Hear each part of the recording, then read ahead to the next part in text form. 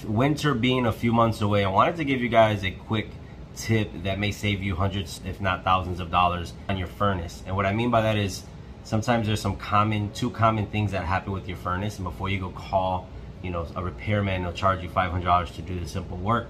There's two things. The first one is the igniter. Sometimes the igniter goes out and the igniter is basically what lights up and lights the, the gas and creates the flames so that your pilots can create the heat.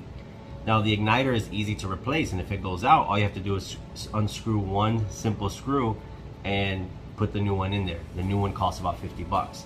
If your igniter is igniting, and that's fine, then you check your flame sensor. Your flame sensor is a little stick and what it does, it detects the flame. If there's no flame coming out, then it'll shut off. Sometimes it gets dirty and grimy. If you sand that or get a new one, you'll be fine again. So check those two things first and I'll put the pictures here so you guys can see what they are and they're pretty easy to replace yourself with one screw.